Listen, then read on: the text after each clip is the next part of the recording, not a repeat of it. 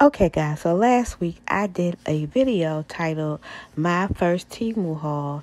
And in that haul, I showed you guys this borosilicate glass teapot.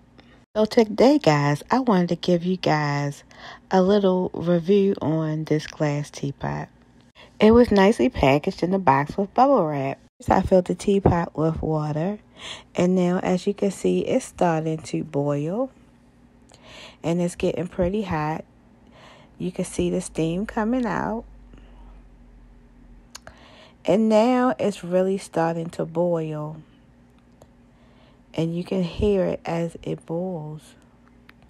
And you notice that it isn't bursting. I have my tea bag and I put it in my cup and I poured the water in.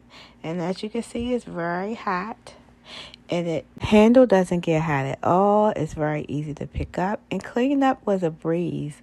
Overall, I like this. So guys, let me know in the comments if you would try it out.